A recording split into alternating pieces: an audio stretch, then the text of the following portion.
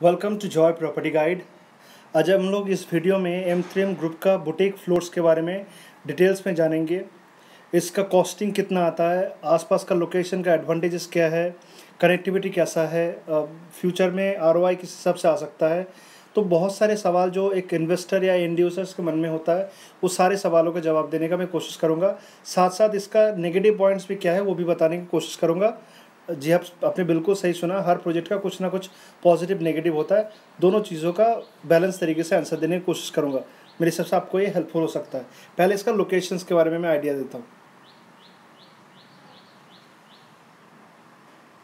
सकता है आसपास का लोकेशंस और कनेक्टिविटी वाइज कैसा है? आपको मेरे हिसाब से अगले एक मिनट के अंदर पता चल जाएगा। This is your national highway eight जो दिल्ली से जयपुर होके मुंबई तक जा रहा है अभी।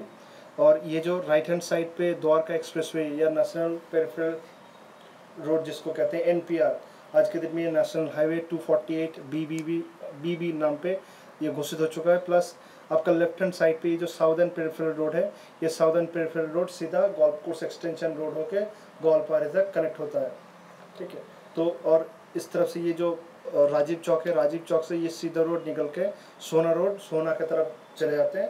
आज के दिन में ये भी नेशनल हाईवे का पार्ट है जिसको कहते हैं two forty eight A A two forty eight A sorry अब इस लोकेशंस के अगर अगर थोड़ा गौर करेंगे सबसे पहला वाला सेक्टर जो राइट हैंड साइड पे आता है 83, 84, 88 इसके बाद ये जो पूरा चंक आप देख रहे हैं 83, 82, 85, 84 इसमें मेजर पोर्शन आपका वाटिका के पास है। ऑलमोस्ट 700 एकड़ का वाटिका आइनिक्स का टाउनशिप है इस लोकेशन पे। इसके बाद आपको इस लोकेशन में पहुँचना है, अगर 89 की बात करें तो दिस इज़ योर सेक्टर 89 88 का लगा हुआ सेक्टर है।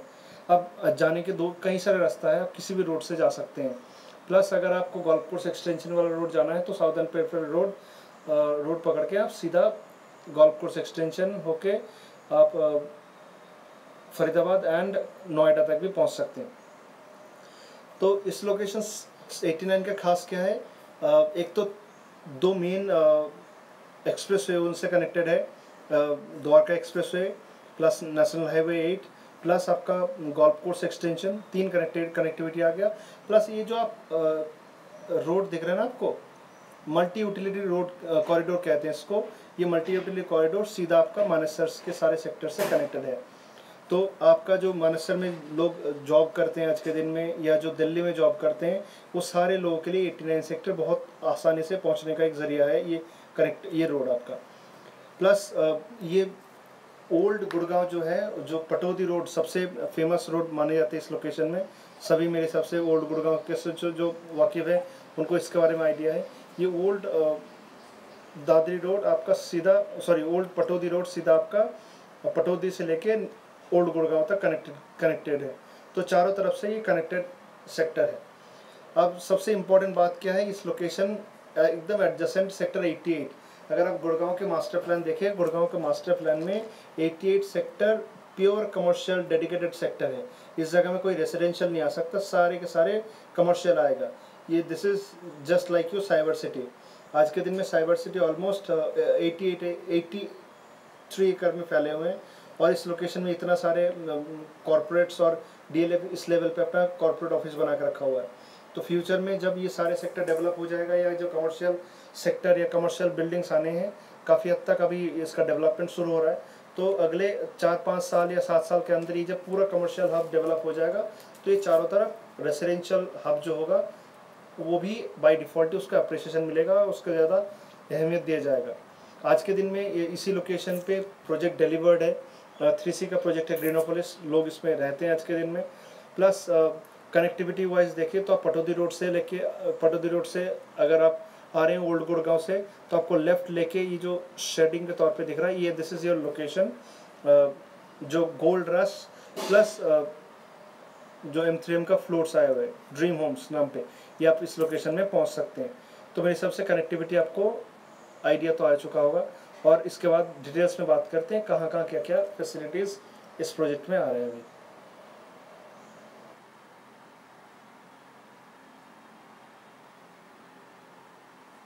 आपको मैं गूगल अब थोड़ा डेवलपर के बारे में बता दूँ। डेवलपर के बारे में जो गुड़गांव में रहते हैं, वो तो अच्छी तरह से जा उनको पता होगा। गुड़गांव में जो southern peripheral road golf course extension and Dwarka expressway इस जगह में इन लोगों का काफ़ी सारे प्रोजेक्ट डिलीवर्ड है। और जो भी प्रोजेक्ट डिलीवर है, वो सारे अल्ट्रा लग्जरी सेगमेंट पे या अपर सेगमेंट में आता है।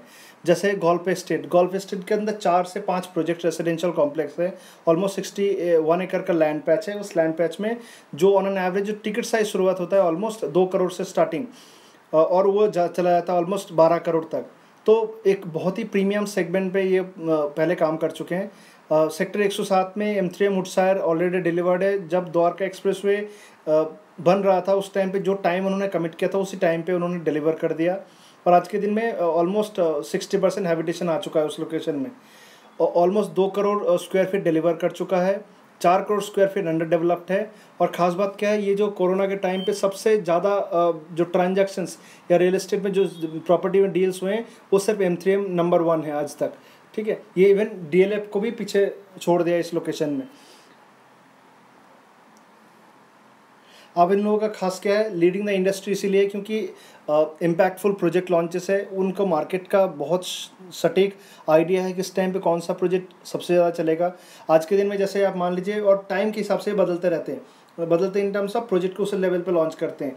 2014 के आसपास जब बहुत ही अल्ट्रा लग्जरी सेगमेंट लोग प्रेफर कर रहे थे और लोकेशन का भी बेनिफिट था तो they have launched project in golf course extension जो आज के दिन में golf estate M three Merlin fairway east and west ये सारे प्रोजेक्ट आपको दिख रहे हों मतलब डिलीवर किया हुआ है।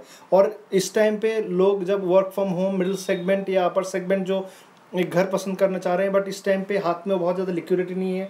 बट एक घर हो जहाँ पे घर से का ऑफ़िस का काम कर सकें, या अगर ऑफ़िस अपना खुद का भी ऑफ़िस है तो वीकडेज में या ऑफ़िस से आने के बाद ज़रूरत पड़े तो अपना टाइम उस जगह बिता सकें। ऐसे इन्हीं कॉन्सेप्ट के साथ ये प्रोजेक्ट लॉन्च किया गया। ये सारे डिलीवर्ड प्रोजेक्ट है, जो मैं बात कर रहा था। M three M skywalk Trump ये सारा अंडर कंस्ट्रक्शन है। दिस इज़ डिलीवर्ड प्रोजेक्ट अब देखिए, इसका जो टिकट साइज़ है ना ऑलमोस्ट एट्टी लाख से एट करोड़ तक है। तो you can understand the kind of presence it has in Gurgaon ठीक है? तो आप अगर गुड़गांव में कभी भी आएँ तो इस सारे के डिलीवर्ड प्रोजेक्ट भी आप एक्सप्लोर कर सकते हैं।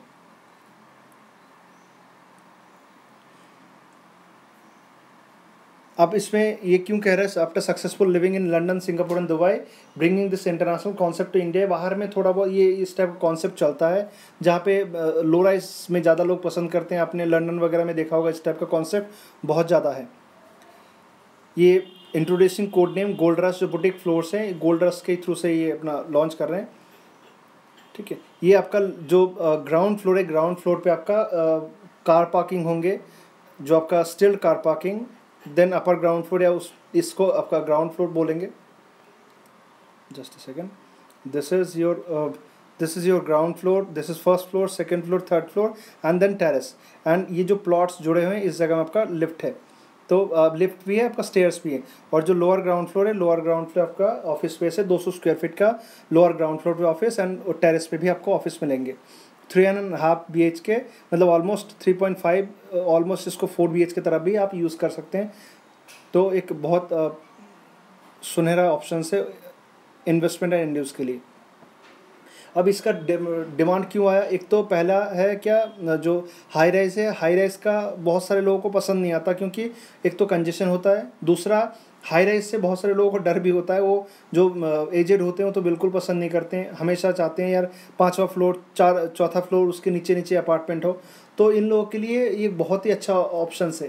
प्लस न्यू कंस्ट्रक्शन होंगे इस लोकेशन पे तो कंस्ट्रक्शन में भी बहुत बेहतर ऑप्शन होगा ये।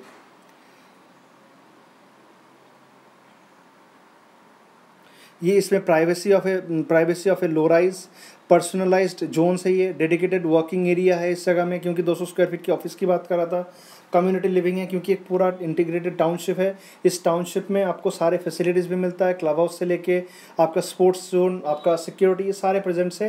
तो द फन और the charm of a high rise apartment in low rise apartment that too an affordable price with unique office space and terrace ये पूरा कॉन्सेप्ट है इस टोटल प्रोजेक्ट का। ठीक है। ये एक लोकेशंस जो मेरे हिसाब से बहुत सारे लोग जो मैप के थ्रू से समझने की कोशिश किया तो ये क्लियर कट आपको समझ में आएगा। This is your national highway ये आपका राजस्थान होके, जयपुर होके आपका आगे आगे मुंबई तक जा रहा है। This is your northern peripheral road या Dwarka express way this is your southern peripheral road या golf course extension road this is your Sohna road तो मेरे हिसाब से आप समझ पाएँगे, चारों तरफ़ से रोड से घिरा हुआ है और cherry on the cake almost sixteen hundred एकड़ में जो मानसर आज के दिन में बसा हुआ है, जहाँ पे दिल्ली, गुड़गांव, नौ, गुड़गांव, नोएडा, इवन बाहर के बहुत सारे लोग काम करते हैं, जो डेडिकेटेड इंडस्ट्रियल एरिया है नॉन पोल्यूटिंग ये आई एम टी मानेसर है, और उनके थ्रू से भी एकदम डायरेक्ट कनेक्टेड है। ठीक है? आपको एयरपोर्ट पहुँचना आपको बीस से पच्चीस मिनट में पहुँच सकते हैं तो एक बहुत अमेजिंग लोकेशन में ये प्रोजेक्ट है। ठीक है? ये इनका मास्टर प्लान है, आप कनेक्टिविटी देखेंगे, इस तरफ़ सेवेंटी फाइव मीटर रोड इस तरफ़ का सिक्सटी मीटर रोड गुड़गांव का खास क्या है? दोनों सेक्टर के बीच में जो रोड होगा, वो सिक्सटी मीटर रोड है और एक सेक्टर के बीच में अगर कोई रोड होता है वो चौबीस मीटर, जो जनरली बहुत सारी जगह में दोनों सेक्टर के बीच में रोड ही बारह मीटर भी नहीं होता। तो गुड़गांव के ये खास है जो कभी आपका जो कंजेशन है, उन चीज़ों को ठीक करने के लिए प्लान किया गया था दो हज़ार इक्कीस के मास्टर प्लान में। देन उसको दो हज़ार बत्तीस में ट्रांसफ़र किया गया। ठीक है? ये आपका चीज़ जो मैंने आपको थोड़ा बताया था थोड़ी देर पहले, ऐसे ही आपको दिखेगा, नज़र आएगा। इस तरफ़ से बैल्कनी होंगे, उस तरफ़ से भी बैल्कनी होंगे। ये थोड़ी देर पहले मैंने आपको ज़िक्र कर दिया। ये आपका collaborative studios library home office तो सारी चीज़ जो एक वर्क फ्रॉम होम के लिए चाहिए होता है, या एक बहुत पीसफुल लिविंग के लिए चाहिए होता है, वो सारे चीज़ इस प्रोजेक्ट के अंदर देने की उसने कोशिश किया। Kids play area gymnasium bar and lounge ये सारे उस प्रोजेक्ट में रहेगा। अब कमिंग टू द क्लब ये ऐसे ही लुक आपका क्लब हाउस का दिखने को मिलेगा। बेसिकली अगर आप एम थ्री एम ग्रुप का ब्रॉशर पहले उठाएँगे M three M golf estate हो मर्लिन हो, जैसे उन्होंने पहले पिक्चर में प्रेजेंट किया, वैसे ही वो अपना डिलीवर किया हुआ। तो आपको अंदाज़ा आ जाएगा जो आप यू मार्क माई वर्ड जो क्लब हाउस का आज के दिन में पिक्चर आपको दिख रहा है, वैसे ही एम थ्री एम डिलीवर करता है। पहले डिलीवर किया हुआ है। बहुत ही प्रीमियम लेवल पे क्लब हाउस आएँगे, बहुत खूबसूरत है ये। ये आपका club house swimming pool indoor heated this is your indoor heated swimming pool gymnasium ठीक है। ये ऐसे लेआउट है माई स्पेस नाम पे, जहाँ पे आपका नीचे ऑफ़िस स्पेस वगैरह जिम वगैरह इस तरफ़ आपका रहेगा। अब बहुत सारे लोग ऑफ़िस की जगह जिम भी बना सकते हैं, कुछ भी अपने हिसाब से बना सकते हैं, अगर जो पर्सनलाइज करना चाहता है तो। This is your ground floor पे ये स्टिल पार्किंग है। टिपिकल फ्लोर से आप तो तीन बेडरूम है प्लस अलग से अलग से और एक बेडरूम है।